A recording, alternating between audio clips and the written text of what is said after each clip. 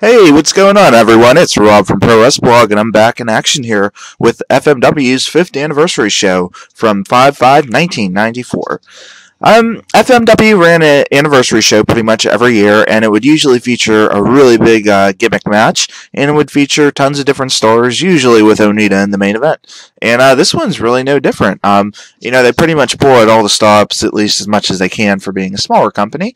And um, yeah, I mean, this is their WrestleMania, their their Tokyo Dome, and it is their biggest show of the year. Um, a lot of cool stuff here. You get a really nice mix, and uh, we'll uh, jump right into it, and I'll tell you how it was. All right, so the first match was uh, Tetsuhiro Kuroda versus uh, Gosaku Goshogawara. I, I really can't pronounce his name. It's quite long and weird for Japanese standards, and um, it wasn't really anything special. Uh, you know, both are pretty young rookies, and uh, they were both awkward. They blew stuff, and uh, neither really looked that great. But uh, that's a rookie match. You know, you gotta you gotta learn somehow. And um, Kuroda ended up winning this one with uh, a really deep uh, single leg Boston Crab that looked pretty nasty. And uh, only a few minutes were shown here. Didn't miss anything. Next up, we had some uh, Pro versus FMW action. We had uh, Battle Ranger Z, Koji Nakagawa, and Masato Tanaka versus the Great Sasuke, Hanzo Nakajima, and Shiryu. Um, yeah, this was uh, when I first got this tape many, many years ago. This was like my favorite match on the tape. Uh, you know, it's a really cool match. Um, it's totally clipped up, so it looks a lot better than it probably was. But the clips they sh- shown were all really good, and like ECW, it made you just want to see the whole match. Um, there was just a ton of fun stuff. Uh, Shiryu was really awesome here. He was flying all over the place. He did all kinds of flips, and he just looked like a step above everyone else. Um, you know, he did some cool escapes. He even did a, like a black man from Lucha Libre spot literally there was a guy named Blackman, in case you're wondering, and uh, he just looked like a beast. Um, Sasuke was really good here too. He did a nice Asai. He did his flying space tiger drop, and the usual Sasuke stuff, and I really like that. Um, one really cool spot was uh, Shiryu did a dive to the outside of Tope con Hilo, and uh, he went through the ropes, and he ended up like he went so far through and the guy didn't catch him, so it was kind of like I don't even know. It was like a capo kick off of a dive, and it was pretty cool. Uh, I don't think it's how it meant to be, but uh, it was pretty good. And uh, that's such a hard dive to hit, so I, I really do love to see that. So dangerous too. Um, Shiryu also hit a really big and nice moonsault here, and um, Sasuke stretched one of the dudes out with a really nasty octopus stretch. Um, the finish came with a Battle Ranger. He tried to hit like a top rope um, Hurricanrana, and it uh, it kind of got turned into a power bomb by H- Hanzo Nakajima, and I don't know what happened, but it was definitely botched, and um, they screwed up the pin because uh, Hanzo kicked out, and uh, yeah, I don't really know what happened here, but uh, it was a botch. But uh, I still liked it. It was a good match. There were tons of cool stuff, and everyone just looked cool. I mean, you have Power Rangers here, ninjas. You got you know all kind. Uh, you got a samurai dude. You know, uh, this is pro wrestling to me, and I love it. Uh, that, that's one of the big reasons I love uh, you know FMW and Michinoku Pro. And um, you know, I gave it three and a half stars because I loved it, and it was a ton of fun. Next up, we had some FMW versus LLPW action with uh, Combat Toyota, Crusher Maedomari, and Shark Tsuchiya versus uh, Noriyo Tateno, Eagle Sawai, and Mizuki Endo. Um, yeah, this is just FMW LLPW action. Uh, all the groups work together around this time, which is how you got Dream Slam, Big Egg, and all those types of shows. And uh, this was really no different. Um, I'd be, I think I'd be honest in saying the women's team probably had the worst haircuts of all time here, with not a lot of lookers. But uh, um, Toyota's hair is really cool. It's like uh, it's like a leopard or something in the back, and I've never seen anyone else do it. Um, speaking of Toyota, she was pretty awesome here. She uh, she hit a top rope dive to the outside, and she was just on. She was totally carrying this, and um, you know, at least on her side, and on the women's side, um, you know, this was pretty much the uh, the Noriyo Tateno show. She was biting, doing heel tactics, and uh, just being pretty wild and crazy, and I really liked it. Uh, she really brought some spunk to the mats, and she made it a lot of fun. And um, yeah, it was good stuff, and it was definitely better than it should have been because it really should have been a stinker. But uh, you know, at least from the clips, it looked like it wasn't. So, uh, hey, kudos to him for that. Um, Crusher got the win here when she uh, did a top rope uh, choke slam onto Endo, which uh, looked pretty rough. So, um, yeah. after the match, they um they all kind of got into it again. Uh, to and Crusher argued, and um, Eagle Sawai I think went at it with uh, Shark. So uh, we had a nice little pull apart that probably built to something else, but probably never gonna see it, and so I can't really comment too far. But uh, good stuff, you know. Next up, we had uh, Sambo Asako and Mr. Ganosuke versus Goro Tsurumi and Hideki Hosaka. Um, man, is just absolutely huge. I mean, he is just a fat dude. Uh, I kind of feel bad for him because you could just tell it's way too much weight on him. Uh, Ganosuke still wasn't really in his awesome mode as he would be later, but uh, he was definitely along the way here. So, you know, um, good stuff. And um, yeah, I mean, you know, uh, this wasn't anything great. Uh, you look at the names involved, and you know, it wasn't going to be super awesome, but uh, you know, it was um, it was fu- it was okay for what it was, I suppose. Uh, Sambo, despite being pretty fat, he, he was actually really good here. He did a nice dive and he moved pretty quick, and I, I was uh, generally surprised by it. Um, Goro, you'll see him in like old uh old Japan and some other stuff. He uh he's just kind of like this heavier dude that had this crazy fro, and he looks like he looks totally like a pro wrestler. I always appreciated that, and he was just all heel here. Uh, you know, they choked Sambo and they did their heel tactics, and really not too much else here. And um yeah. Ganosuke ended up getting the win here with the Ganosuke clutch, and it was all clipped. Um, yeah, so Asako was the really only highlight here. Next up, we had a kickboxer versus wrestler mix match. Um, it was uh, Katsuji Ueda versus uh, Katsutoshi Niiyama. I don't know anything about either of these dudes. Um, I've seen Niiyama. I, have seen. Uh, I've seen one of them. I, I, don't even know who's who to be honest. I, am pretty sure I've seen Niyama a bunch of times, and uh, he's just like your shoot dude. And um, I really don't know what this was. I can't tell if it was a work or a shoot. So um, you know, that if it was a work, it wasn't a good work, and if it was a shoot, it also wasn't a good shoot. So I really don't know. Um, highlights here were uh, were Niiyama hitting a really nice uh, capture suplex on Ueda, and um, Ueda threw some pretty good shots. So that's the part where I wasn't sure about the shoot part because he did belt him pretty good right in the head, and um, Ueda ended up winning here despite being like a 45 year old kickboxer with a knockout blow on uh, Niiyama. Um, like I said, I don't know whether this was a shoot or work because it doesn't make sense anyway. But uh, the less said about this one, the better. Next up, we had Sabu. Yes, that's Sabu. And Damien Triple Six versus Dr. Luther and Yone Genjin. Um, yeah, Damien always worked comedy in FMW, and it was pretty great. He he just did impersonations of people, and that's what he did here, and I was it was uh, pretty funny for sure. Um, you know Sabu, he's nuts, and he was absolutely like totally intent on destroying his body here.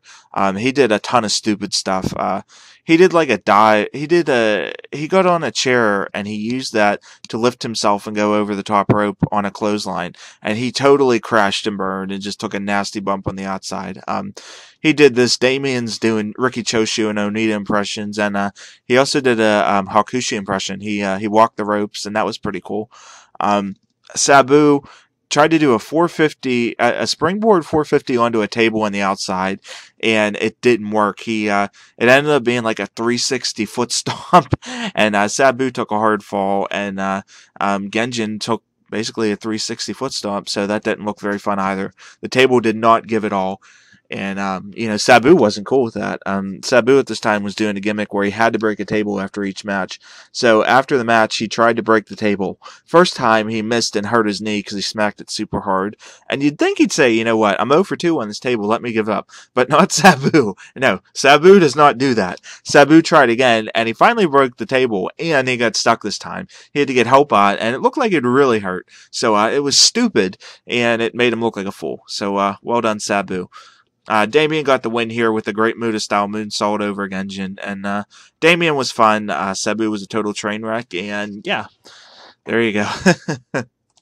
Speaking of train wrecks, we next had an FMW versus All Japan Women's match. It was uh, for the WWA World Women's and Independent World um, Women's double title, and uh, the match was uh, Megumi Kudo versus Yumiko Hotta.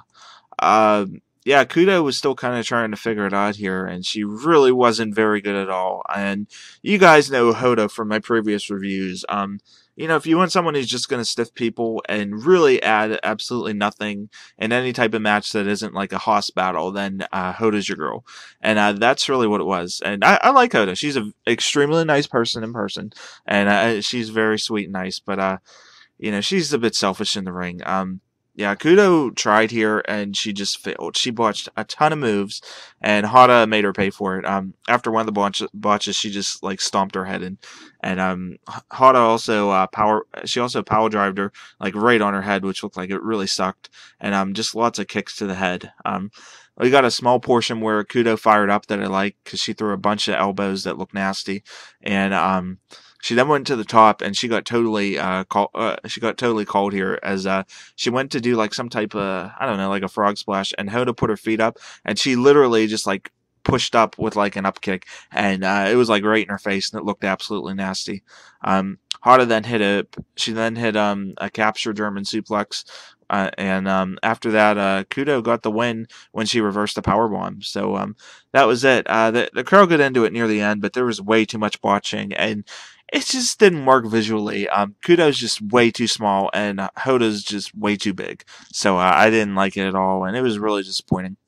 We next had an FMW versus WAR match. We had Big Titan, the Gladiator, Mike Awesome, Ricky Fuji, and uh, they went against uh, Hiromichi Fuyuki, Jado, and Gedo. Um, Fuyuki was like super over here. The crowd just got into everything he did. Uh, they booed him like crazy, and he was just so good at working the crowd. You know, um, I haven't seen a lot of Fuyuki, but the man knows how to heel it up and he knows how to get the crowd involved. Like he does have like a crazy wild charisma to it, and I do like it. I'm, I'm starting to appreciate him after seeing this one. So about this one, um, this was just a giant long squash. Uh, the big Americans just literally destroyed Jado and Gedo. I feel really bad because uh, Jado and Gedo totally earned their pay and some here.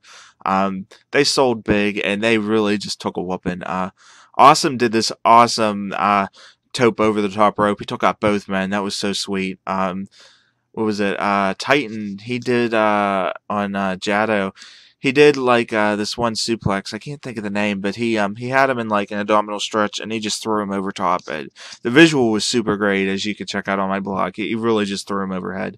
Um, awesome also hit this power this uh, power driver on Gedo that was so nasty. He got major air on it and just drove him straight on his head, and it had to suck.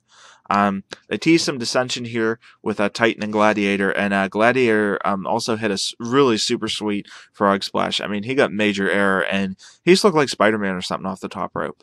And um, Awesome ended up getting the pin here over Gedo after two power bombs. Um, after the match, uh, they had a weird fight between the um, you know the Americans and Fuji, and um, I think Awesome ended up knocking out Fuji with a clothesline and uh, they just all argued and he left and i guess we're getting a feud off of that one. Um, it was just a long squash. Um, i thought it was fun though because it was pretty brutal. Awesome looked awesome as he always does. And um, you know i gave it a three star rating so i did enjoy it and uh, it was pretty fun for what it was.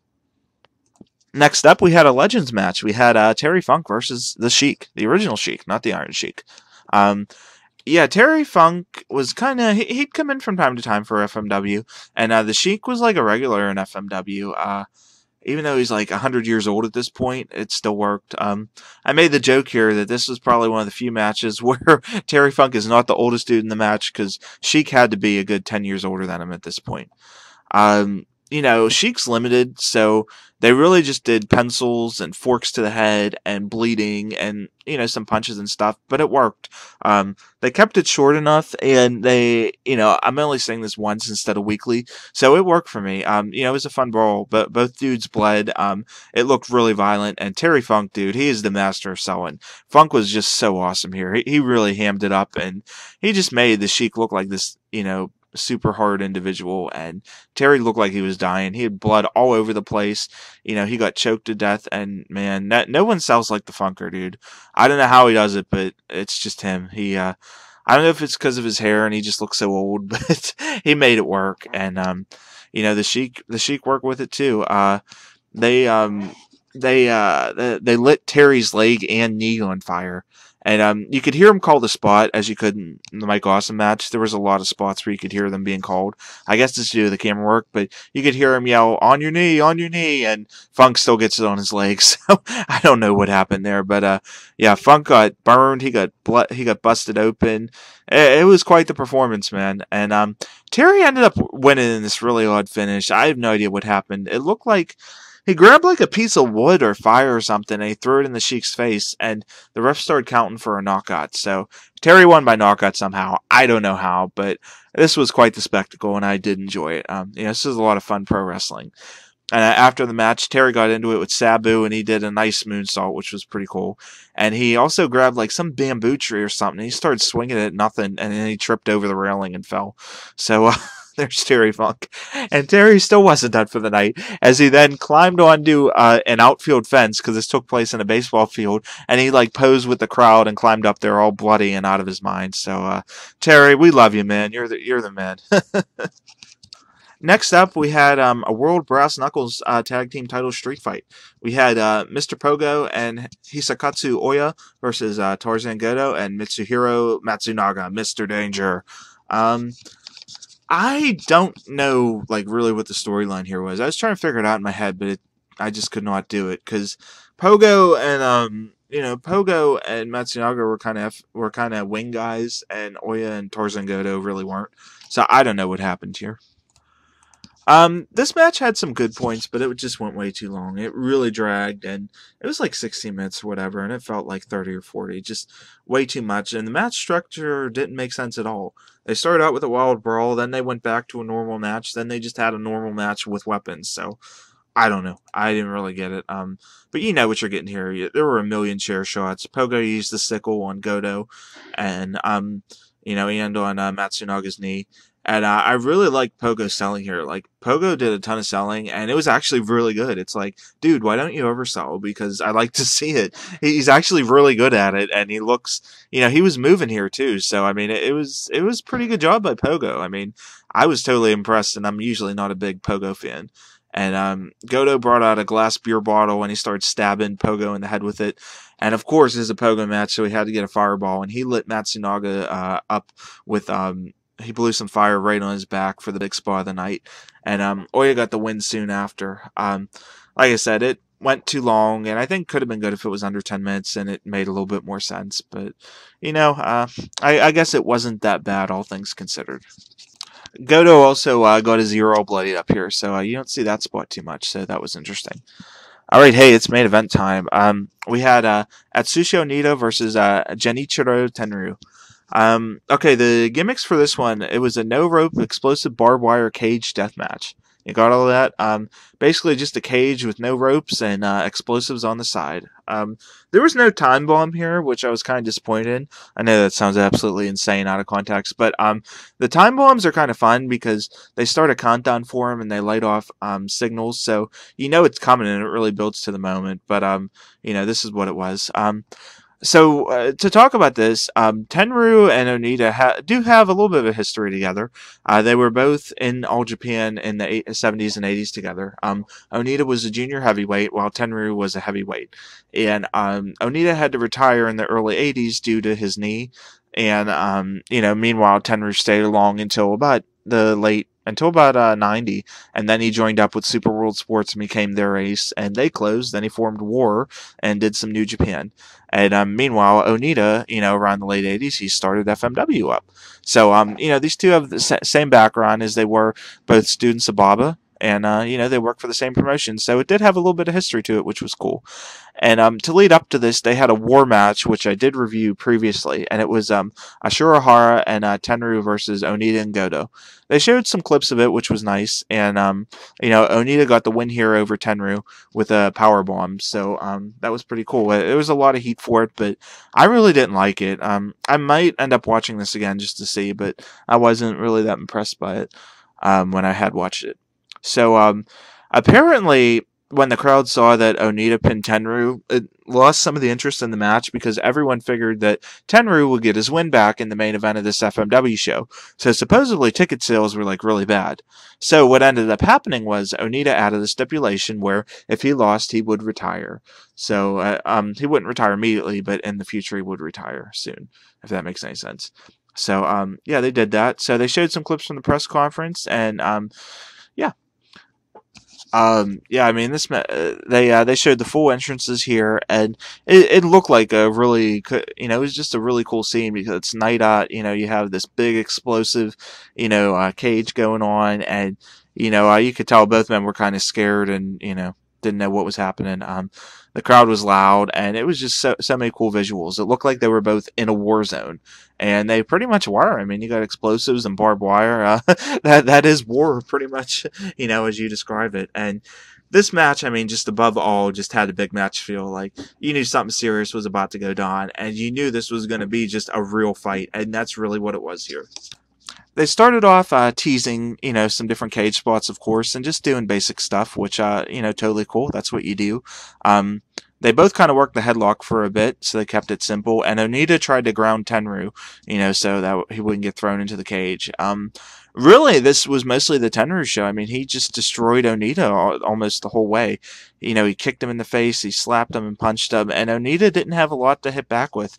He hit some headlocks and he got a couple power bombs in, but that was really it. I mean, this was this was a giant Tenryu squash, which, which was really surprising. But I guess Onita had to do that to get Tenryu to work this match.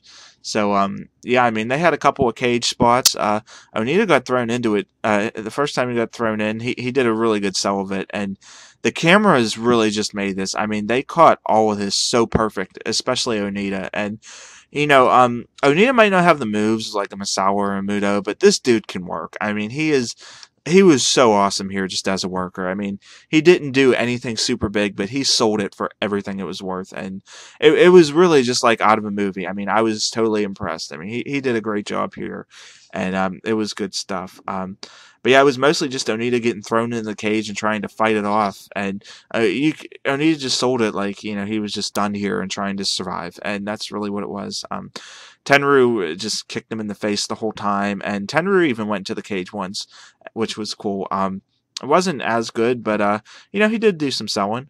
Uh, Onita hit a couple power bombs on him and uh, some good shots there and um, they closed it out with uh, with um, Onita diving at Tenryu and Tenryu grabbing him by the hair like a sumo pole and throwing him right into the cage.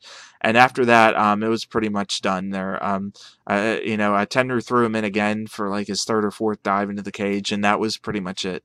Um, he power bombed Onita, and uh, that was it.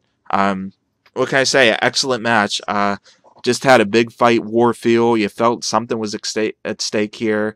Huge crowd, and this may be like the greatest backdrop ever for a wrestling show. Um, you know, it, it just the scenes were just insane here, and so many good visuals and spots, and um, I just love this match. You know, it was a simple wrestling match, and it would have been good even without the cage. So um, I think that's what really made it. You know, they really built up the cage spots well, and it was a good match with some cage spots with it to add it, and it was just very well done, and definitely a match of the year candidate for 1994. And um, I'd have to look into it, um, see what else All Japan did, All Japan Women did that year. But um, you know, definitely an awesome match. I gave it four and a half stars, and uh, you know, the crowd was into it, and Onita after the match really sold it well. He had to be carried out. He fell a couple of times, and um, even he didn't even do his usual post match interview. He, he, said a couple of words, but he was just done on the in the back with all these photographers watching.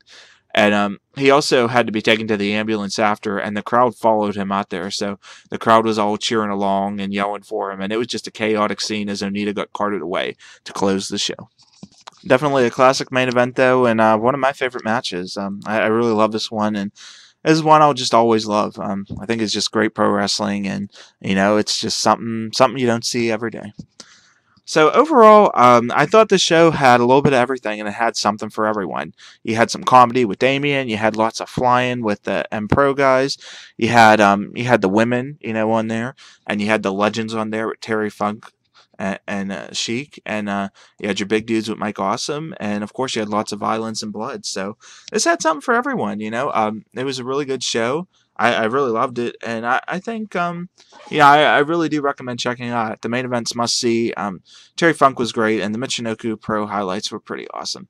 So I, I totally recommend it. And um, hey, it's FMW. This is uh, FMW at its best, and it was uh, good stuff.